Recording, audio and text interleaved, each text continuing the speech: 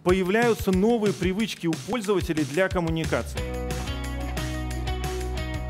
Они могут вам писать через самые разные мессенджеры, через социальные сети, через ВКонтакт, Facebook, Viber, Telegram. Все эти сообщения попадают внутрь Bittrex24, по очереди маршрутизируются, и ваши сотрудники начинают отвечать. Ну, Кстати, первая компания, которая открытые линии сделала частью CRM. Обращались к нам клиенты и партнеры с одной важной задачей – дать возможность оценивать и строить систему KPI для, на оценках клиентов и на оценках вашего руководителя. Появляется возможность и в онлайн-чате проголосовать, и даже через мессенджеры проголосовать, отправив Ну, там ноль 0 или единичку. единичку.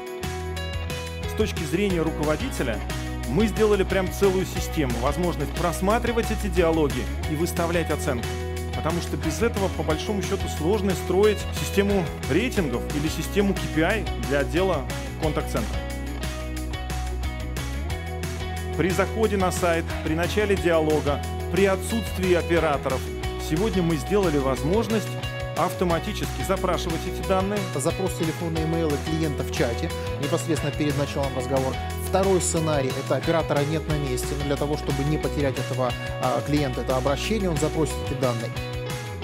И когда оператор появляется на рабочем месте, напишет ответ, ему идет письмо с возможностью опять вернуться именно на этот сайт, открыть чат и прочитать все сообщения, которые были.